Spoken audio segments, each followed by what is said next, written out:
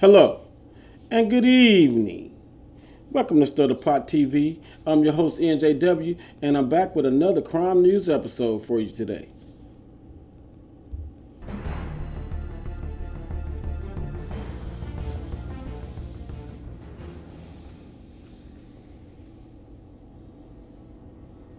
A woman is wanted by police for fatally stabbing a roommate at a restaurant earlier this month during a dispute over missing money.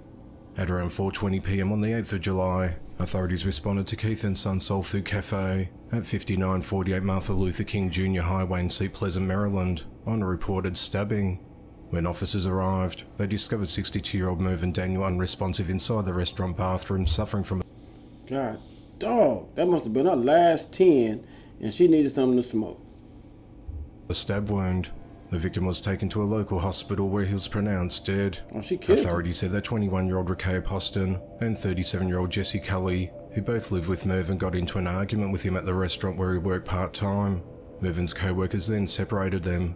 Rakaya and Jesse left and went to the AutoZone store across the road, but returned minutes later. Rakaya then confronted Mervyn in the kitchen area over $10 that she said was missing and yelled, I will kill everyone in this store. Investigators said that Rakaya then grabbed a bread knife That ain't funny. She said she was gonna kill everybody about that hot 10. You understand me? Y'all leave her money alone next time. You won't do that no more. and stabbed Mervyn, who stumbled into the bathroom floor before collapsing. Jesse helped Rokia escape through the back door of the restaurant. Police found a bloody knife hidden on the shelf in the kitchen. Mervyn's friend Skip Fletcher said that he worked hard every day, came on the weekend to help his family run the restaurant, he said. Police have arrested Jesse and charged him with accessory after the fact. Authorities are still searching for Rokia, who's wanted for first degree murder and related charges. The investigation into the matter continues. So not only did she kill him, somebody helped her escape, which he was charged, and then she's still on the run for the actual murder. She must be a soul sister.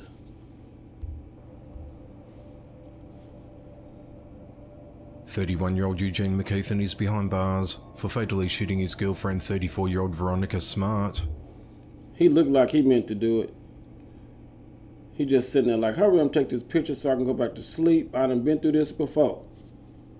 At 1.08am on Thursday the 20th of July, authorities responded to the intersection of Marseille and Minerva Streets in Detroit, Michigan on reports of shots fired. When officers arrived at the scene, they found Veronica laying face down and unresponsive in the middle of the street with a gunshot wound to her head. Medics arrived and pronounced her dead at the scene.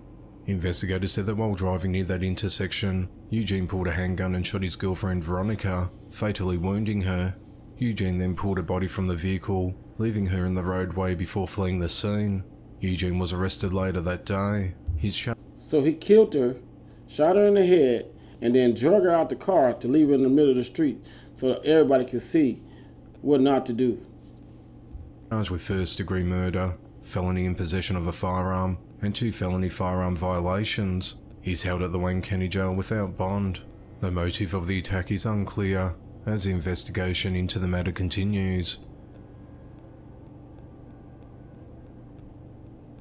Two men are behind bars in connection to the death of a man. At just before 10.30am on Friday the 21st of July, authorities One look high and one look like he coming off down off of high.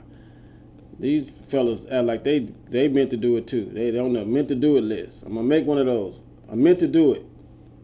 Police responded to the 400 block of South Drury Street in Stillwater, Oklahoma, and found a body in the wooded area. Investigators later identified the victim as 28 year old Dylan Lewis. Officials have not disclosed the victim's cause of death. Police initially identified 28 year old Troy Driscoll as a suspect in the case. Later that evening at around 8.20pm, investigators executed a search warrant at just over two miles away near 100 West Matthews Avenue, located Troy and took him into custody. He was booked into the Payne County Jail on charges of first degree murder, third degree burglary, and possession of drug paraphernalia. After conducting interviews with witnesses, police identified a second suspect, Oh, I knew it had something to do with drugs. The first one looked at high, and he coming down off his. 31 year old John Helfrich. At just after 2.30am on the 22nd of July, John was arrested on a charge of first degree murder and is held at the Payne County Jail. The three men lived in Stillwater, however police have not stated how the men knew each other The events leading up to Dylan's death or a motive in the attack. The investigation into the matter continues. A 33 year old man is behind bars for assaulting a 59 year old woman and breaking her nose. So he didn't beat the woman up for not saying good morning. God damn, what if she didn't say good night? Well, what the consequences would have been? Because she did not say good morning to him as he walked by. At around 9am on Thursday, the 13th of July, authorities responded to Balsam Street in the Dorchester neighbourhood of Boston, Massachusetts, on a report of a woman attacked by a stranger. When officers arrived, they found a beaten woman who told them that while she was watering her front yard, a man later identified as Ian Atkinson walked by her and then cursed her for not saying good morning to him. Suddenly fearful because of the aggressive nature of Ian's remark, the woman. Well, some people do get upset when you don't say good morning when you in a work environment. So, but he just don't. He don't even know this lady and just said, "You ain't gonna speak." God damn, didn't beat her for it. I done heard some crazy stuff of people getting fought on for. Yeah, I said fought on. Woman started video recording Ian on a cell phone.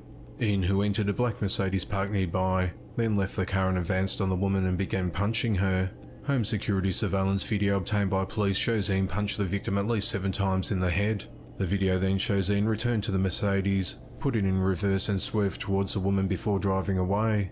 The woman, who was bleeding profusely from her nose, managed to record the car's license plate and provided it to police. She told investigators that she'd noticed Ian wearing a GPS tracking device. The woman was transported to County Hospital, where it was determined that she suffered a fractured nose and hemorrhaging to her left eye. She told police she managed to bite Ian on the shoulder during the attack. Police ran the license plate number to locate Ian at a home in Lucerne. So she said she bit his ass. Trying to hit on her for nothing. Always leave a mark, ladies. If somebody's doing something to you, leave a mark. See, I didn't caught his ass, don't you? Good morning. Street and found a second Mercedes registered in his name.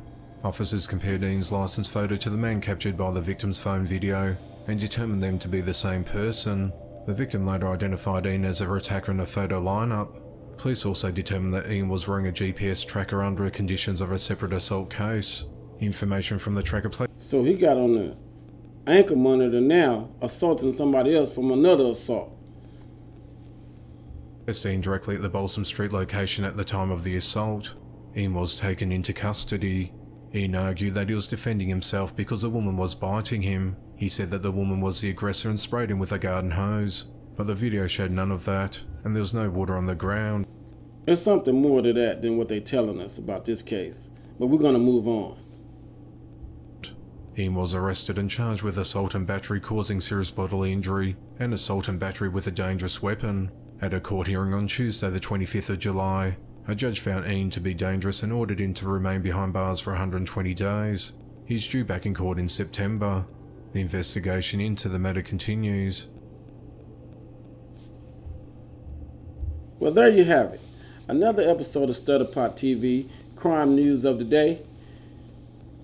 Looking forward to hearing from you guys. Subscribe, hit the subscribe button, and thank you for joining me again. Thank you.